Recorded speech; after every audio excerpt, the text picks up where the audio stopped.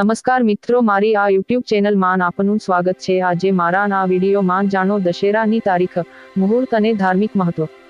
દર વર્ષે આસો સુદ દશમના દિવસે દશેરાનો તહેવાર ઉજવવામાં આવે છે.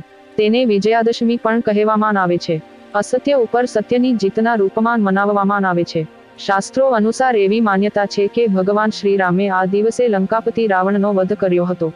આ સાથે માન દુર્ગાએ મહિષાસુરનો વધ કર્યો હતો. આ કારણે તેને વિજયાદશમી પણ કહેવામાં આવે છે.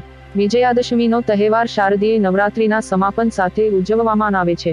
આ દિવસે શુભ સમયે રાવણનું પૂતળું બનાવીને તેનું દહન કરવામાં આવે છે અને લોકો એકબીજાને અભિનંદન આપે છે. આ વર્ષે દશમની તિથિ બે દિવસ હોવાના કારણે લોકોમાં ભારે મૂંઝવણ પ્રવર્તી રહી છે કે કયા દિવસે દશેરાનો તહેવાર ઉજવવામાં આવે છે. આવો જાણીએ દશેરાની તારીખ, મુહૂર્ત અને મહત્વ. દશેરા બે હજાર ચોવીસ ક્યારે છે? આસો સુદ દશમ તિથિ શરૂ, બાર ઓક્ટોબર બે હજાર ચોવીસ, સવારે દસ કલાકને અઠ્ઠાવન મિનિટ પર. દશમ તિથિ સમાપ્ત, તેર ઓક્ટોબર બે હજાર ચોવીસ, સવારે નવ કલાકને આઠ મિનિટ સુધી.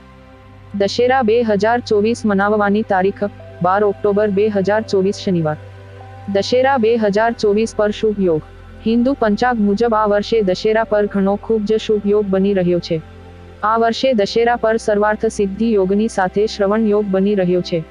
આ સાથે શ્રવણ નક્ષત્ર બાર ઓક્ટોબરે સવારે પાંચ વાગે ને પચીસ મિનિટે વાગ્યાથી તેર ઓક્ટોબરના રોજ સવારે ચાર વાગે ને સત્તાવીસ મિનિટે સુધી રહેશે.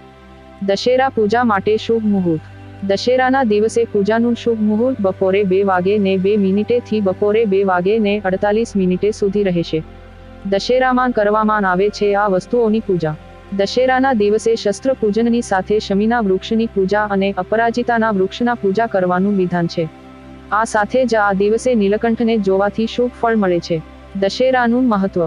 હિન્દુ ધર્મમાં દશેરાનું વિશેષ મહત્વ છે. અસત્ય પર સત્યના વિજયનો ઉત્સવ છે. આ દિવસને સૌથી શુભ સમયમાંથી એક માનવામાં આવે છે. આ દિવસે શુભ કાર્ય કરવું સારું માનવામાં આવે છે. મિત્રો, આપ સહુને દશેરાની શુભેચ્છાઓ. મારો આ વીડિયો જોવા બદલ આપનો આભાર. મારા આ વિડીયોને લાઈક કરો, શેર કરો અને મારી આ ચેનલને સબસ્ક્રાઇબ કરો. જય શ્રી કૃષ્ણ.